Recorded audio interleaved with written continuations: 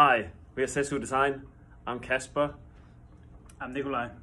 Uh, we're back in office here in Denmark. The lockdown situation is um, is quite easy by the fact that everything is opening now. Schools opening, shops opening. So we're back in office as well and uh, can actually do a normal day's work. Um, the team is here as well, and we're happy to be back. Two months ago, we uh, went into isolation, and um, that has been uh, quite an interesting uh, period. Uh, of course, being positive in the way that we've had time, I guess, individually to focus uh, more on the projects at hand. Um, and the challenge would be that it's, it's been quite a different way to go about making designs as we are a team, and uh, that has been quite a new thing. The biggest shift for us in the, the lockdown situation was that we had to shift the whole process from being together in the office at a physical area to an online experience.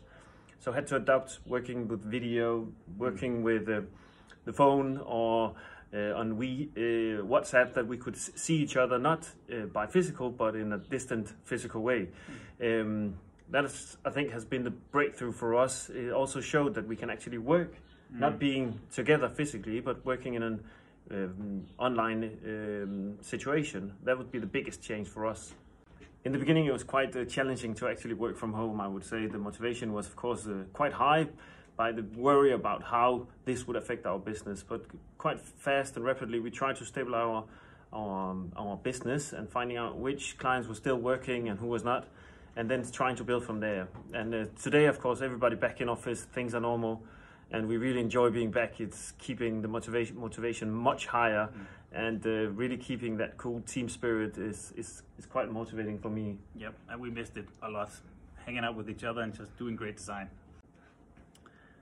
During the lockdown period, we have had a lot of time at home, and um, during this period, we've really had the pleasure of practicing hand sketching a lot.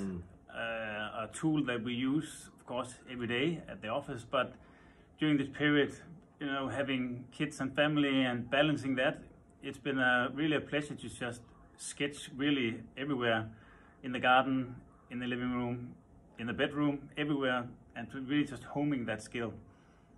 I would say one of the most inspiring things that happened for us in this process is that uh, customers or clients or uh, people has just picked up on that amazing idea of redecorating, refurbishing their homes. So everybody just become hmm. much more passionate about the interior and their homes. Uh, people asking us, "What do you think is cool? What could be the next thing we should buy for our home?" Because people are just at home. They hmm. cannot travel. They cannot go to restaurants.